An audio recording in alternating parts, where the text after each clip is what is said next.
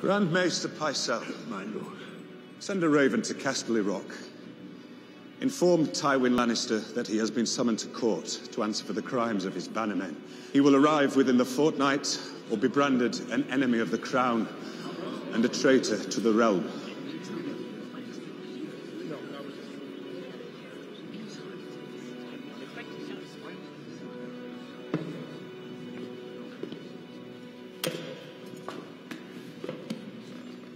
Bold move, my lord, and admirable.